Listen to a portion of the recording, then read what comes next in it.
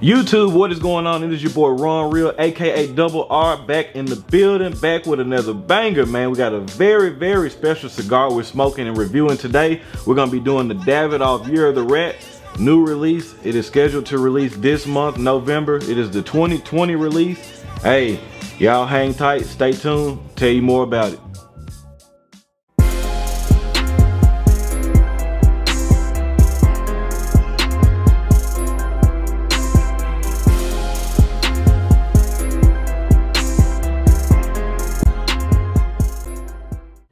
All right, so we got the Davidoff Year of the Rat 2020 release. Comes out this month, November, man. Very, very limited cigar. They come in 10, 10 count boxes. There's 10,000 10 count boxes, so there'll be 100,000 cigars released for uh, this year's release.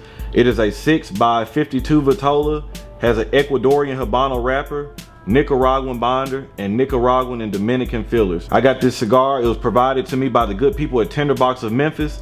Jeff and Lynn, they always take very, very good care of me since I've started smoking cigars. I've always dealt with Tinderbox of Memphis, man. They treat me with nothing but love, nothing but respect. So huge, huge shout out to those guys for providing the cigar for me. They're providing the cigar for the review. So, oh, before I get further into this cigar, I know y'all see the new merchandise, man. By the way, the t-shirts will be coming soon kind of finalizing a couple things. Shout out to the plug for helping me out. We've been designing this shirt with the main logo on it. We've been designing a couple other shirts. I'll be releasing pieces of merchandise out slowly. I appreciate you guys for the patience because I know I've been getting a lot of requests, man. People are like, oh man, when are you, when are you coming out with shirts and stuff like that? They're coming, just just kind of hang tight, bear with me, man, but we're working. I know the demand is there, but but hang tight. So yeah, we got this this new color, man. I think it looks looks pretty good myself. All right, now that we got the whole merchandise plug out the way, we'll finally get into the cigar review. Again, I wanna give a huge shout out to Jeff and Lynn at Tinderbox Memphis. I forgot to mention, if you guys are local to the Memphis area, be sure if you're into cigars, you have to stop by Tinderbox Memphis. Bar none, they have the best humidors in the city. Or if you're not from Memphis area, if you're just frequenting the area or you're here for business or pleasure, whatever, anything like that, if you're into cigars again, make sure you stop by and see them. They always take very good care of me and everybody else. They have a humidor stocked full of cigars. And on top of that, they're a member of the TAA, so they also get the TAA exclusive cigars that you'll see me smoke from time to time. I usually get them from Jeff and Lynn. So again, huge shout out to them. We'll get into it. I forgot my cutter today, so we'll have to use the cigar scissors. Uh, another thing I forgot to mention as I was giving the breakdown of the makeup of the cigar, this is not a cheap cigar, people. This cigar retails for $39, which most people are not gonna, you know, spend that much amount of money on a cigar.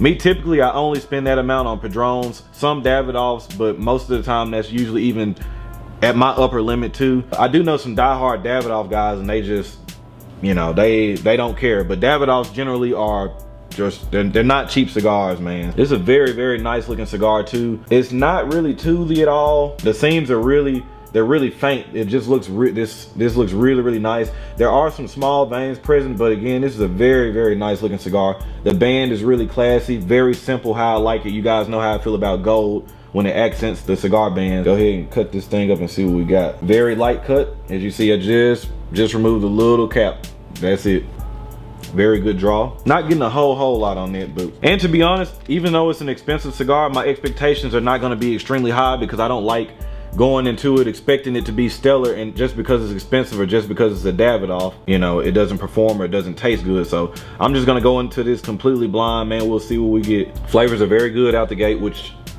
$40 cigar as to be expected. Very faint chocolate, almost a chocolate note, a little bit of an espresso like black coffee. There's a little bit of a faint sweetness yet. I can't really pick up on it, but the flavors they're not where you could pick them out. They're all blended and melded in really, really well together. You can definitely tell this has some aged tobacco on it. It's like that baker's chocolate kind of black coffee, some earth. Another thing I wanted to mention about this too, so Davidoff, they do these year of cigars in response to the Chinese New Year. They, they've been releasing these cigars since 2012 and every year they'll do a different animal. Whatever year coincides with that, that's what they'll release. So 2020 is the year of the rat. This year, 2019, was the year of the pig. I did not get a chance to smoke that cigar. I'm sure if I could find it, I'll I'll pick it up if I can. Um, I'll try it out or try to get a review for you guys. But uh, if you guys know of anybody that has year of the pig cigars, shoot me a DM in, at, or at my Instagram or comment down below if you know where some are. I may want to buy one or two of them just to try to review them just because I haven't had one. But so far, really good start. We'll smoke through the end of the first third. So y'all hang tight, stay tuned. We'll be back in the second third, let you know what we got. Man, I'm telling you guys now, I'm not advocating that everybody goes out and spends $40 every time they buy a cigar because I'm not. If this cigar performs the rest of the way like the first third has been, I'm really, really afraid of how high this cigar is gonna score.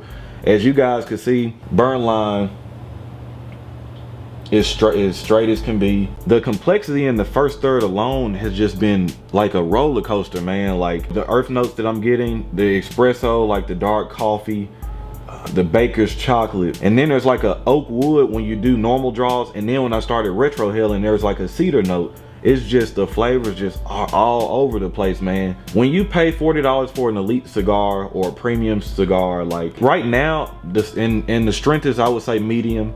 But the flavors are are full bodied already. Medium to full leaning towards full. They're they're already really strong. Complexity is already really high construction is already really high. This is what you expect. And to me, that just further lets me know like it's it's really, really well aged tobacco in this cigar. I know it is. It tastes the you can just taste the quality. This is crazy, man. So I'm really intrigued and I'm really looking forward to seeing how the rest of this cigar goes. People that know me know I don't smoke many Davidoffs, but the one like I love the Yamasa. I like the Nicaragua. I like the Escurio. Like there's some other ones I like. I've never had any of the year of. This was my first um, limited edition year of, of as a part of their lineup. I've never had any of their other ones. If it continues this way, I'll definitely every year at least buy one just to see if they're as good as this one. So I know I'm I'm at the tail end tail end of the first third. I just had to come back and report that to you guys. So far, the cigar is doing excellent all across the board. I guess we'll get back when I get through the end of the second third, let you guys know of any changes or whatnot. But so far, damn good cigar, no complaints. Stay tuned, man.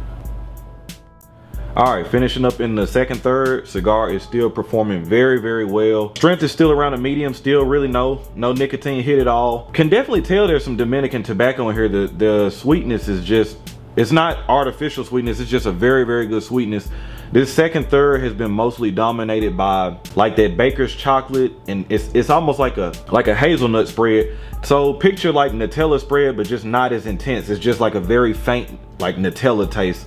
Very, very good with a little bit of wood in the background. Like there's just that like oak woodness.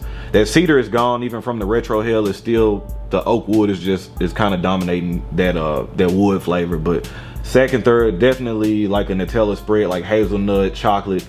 Very, very good cigar. Construction's been on point. Draw has been on point still. Burn line is still going very, very good.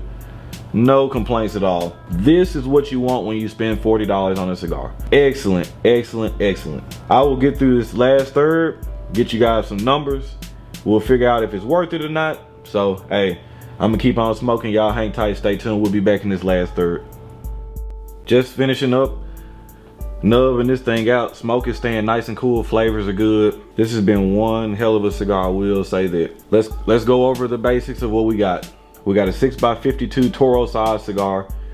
Flavors have been very very good. The last third the chocolate went away and the last third was pretty much dominated by just a nice earth and the wood you know that woodsy kind of flavor. But it's been good. Very very good complexity has always been just always changing. I've never I never knew, you know, exactly what I was going to expect. This was very, very good. Davidoff did their thing with this cigar. I, you know, the only thing I would strike against it was the strength. Again, that's me personally. You guys know I like strong cigars, but complexity was through the roof.